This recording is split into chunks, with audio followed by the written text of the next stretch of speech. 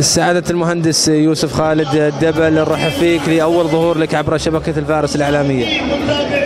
آه، وأنا برضو أرحب فيكم وشكرا وأقول لكم كل عام وأنتم بخير. والحقيقة يعني شرف كبير إن الواحد يجي في بطولة للمرحوم الله يرحمه. وأنا أرحب بالحضور كلهم. اولا طبعا الله يرحمه الله يغفر له ويرحمه. وأنا أشكر كل من قام على هالبطولة سواء كان ال- ال- اللجنة المنظمة رئيس اللجنة المنظمة اللي هو أخوي عماد الله يعطيه الصحة والعافية أو خالد بن عبد الله فهد جميع اللي قاعدين يشتغلون بالبطولة من أصغر واحد إلى أكبر واحد كلهم ما شاء الله جهد غير طبيعي. بطولة أنا بحكم إني عايش بالرياض أسمع عنها مو السنة هذه السنوات حتى اللي قبل أسمع عنها حتى في الرياض. عن المنافسة الكبيرة اللي فيها. كل سنة قاعد ما شاء الله تبارك الرحمن أشوفها أقوى وأفضل والترتيب والاجتهاد اللي فيه أفضل بكثير. يعني لو لو نظرنا للسنة اللي راحت اللي هي كانت البطولة الثامنة كانت جدا روعة. السنة هذه اليوم أول يوم أنا أشوفها برضو أفضل بكثير ما شاء الله تبارك الرحمن من السنة اللي راحت.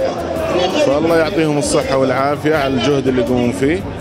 المرحوم طبعا الله يرحمه يستاهل مننا أكثر وأكثر.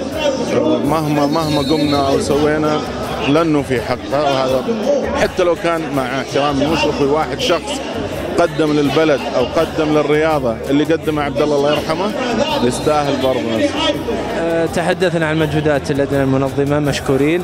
أه، كلمة منك للجهات الداعمة أيضا اللي تدعم أه، هذه الدورة بشكل سنوي. والله لا شك الدعم آه، مهم ومطلوب. فالشركات الموجودة اليوم يعني كلمة شكرا ما ما توفيهم حقهم طبعا. لأن من دونهم ما بتشوف كل هالجمهور وهالقوة في البطولة. آه، يعني أنا أعتقد واللي فهمته أنه في شركات مسجلين أساميهم في ويتنج ليست يعني ينتظرون هالبطولة. وفي كثير ودها تشارك بس بحكم أنه معد آه، معدودية الأفرقة آه، فماخذين الظاهر إن اللجنة المنظمة ماخذة عدد محدود وبس. بس أنا اللي أعرفه إنه في شركات برضو ودها تشترك ودها تسجل. طبعا إن شاء الله نتمنى إنه في السنوات القادمة تصير بطولة أكبر.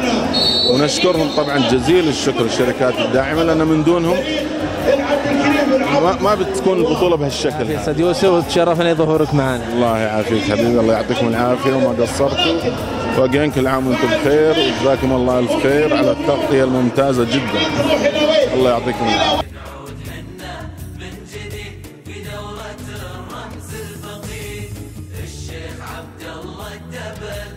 الشيخ